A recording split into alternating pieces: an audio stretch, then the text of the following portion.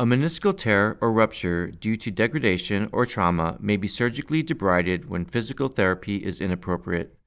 The inner two thirds of the meniscus lack a rich supply of blood and cannot heal, necessitating arthroscopic surgery in which the torn region is trimmed away.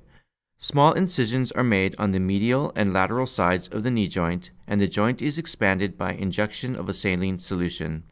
An arthroscopic cannula investigates the injury and the damaged region is removed.